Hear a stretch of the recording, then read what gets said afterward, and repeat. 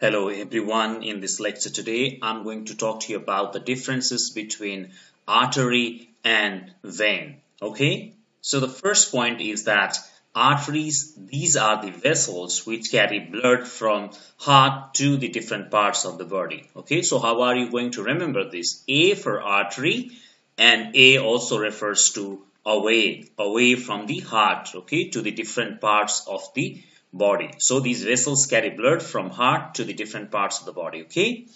And so what are veins? Veins are the vessels that carry blood from various parts of the body uh, to the heart. Okay. So how are you going to remember? Vein, I-N, in, in, in. So it means in the heart. Okay. So basically uh, these vessels carry blood from different parts of the body to the heart. Okay. So this is, uh, these are veins. Next point is arteries, they carry oxygenated blood from heart except pulmonary artery, okay? Because uh, these vessels carry blood from heart to the different parts of the body, therefore they carry oxygenated blood. They supply oxygenated blood from heart to the different parts of the body except pulmonary artery.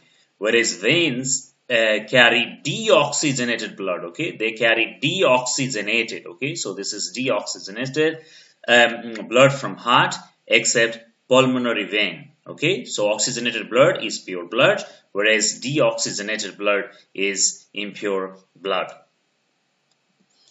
Arteries, they have thick elastic muscular walls. Okay, arteries have thick elastic muscular walls, whereas veins have thin elastic walls. Okay, veins have thin elastic walls.